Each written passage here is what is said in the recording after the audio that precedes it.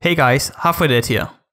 This video is very important to me because I don't know any other topic where people will claim all kinds of things with the authority of an expert, while being completely wrong. So if you see one of those cases, then please link them this video.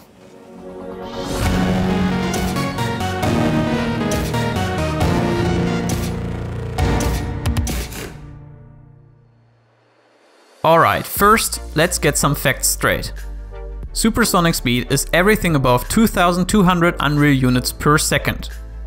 That is when your car starts getting the trails, your FOV expands an extra 5 degrees, and you get those windy particle animations. It's also the required speed for demolitions. But it is not the maximum speed of the car. The maximum speed is 2300 Unreal units per second, so about 4.5% faster. It's not going to make a difference in a lot of scenarios, but if you're trying to get to the ball as fast as possible then every little bit counts. That's why it's kind of unfortunate that there is no way to know how close you are to max speed. The best way to be at guaranteed max speed is to tap your boost for an additional 1 tenth of a second after you hit supersonic. That is enough to get you from 2200 to 2300 Unreal units per second. Whenever you activate boost, it will be on for at least 13 physics frames, the game runs with 120 ticks per second, so a very short tap will suffice to reach the maximum speed. Now to tackle one topic where I see a lot of misconceptions. As long as you're holding drive forward or power slide and you keep driving in a straight line, you will not lose any speed. However, as soon as you turn, your speed will slow down. The only way to make sure it's always as high as possible is to constantly boost but that will also waste a lot of boost. So I've experimentally determined how you can stay the fastest speed possible without wasting any boost. This depends on the car presets, because some will lose their speed faster than others when turning. For Breakout you will need to tap the boost every 24th physics tick. For the Dominus it's every 27th, and all other presets require every 26th.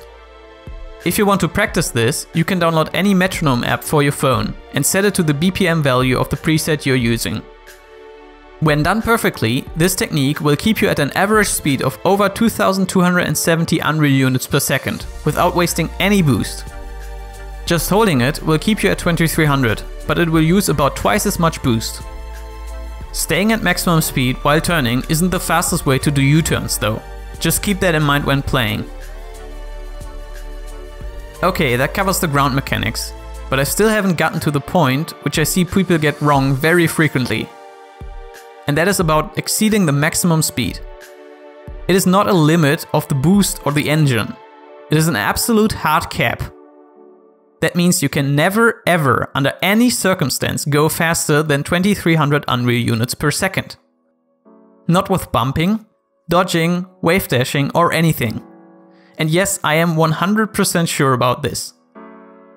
Let's take a look at what happens if the car is already at maximum speed and it gets accelerated further.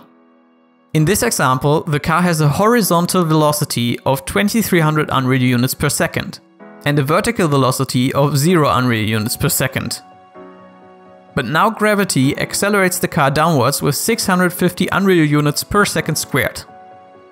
I'm going to calculate this as if the physics engine was using just one tick per second, because it gives more interesting numbers. Therefore, for a second time step, the vertical component should increase by 650 Unreal units per second. Using the Pythagorean theorem, we can calculate the total velocity. It is 1.039 times the maximum speed. But here's where the hard cap comes in to save the day. By dividing the speed vector by this figure, we get a total speed that is exactly 2300 Unreal units per second again. This has an interesting side effect. The car is also falling slightly slower now than it would be if it had no horizontal speed.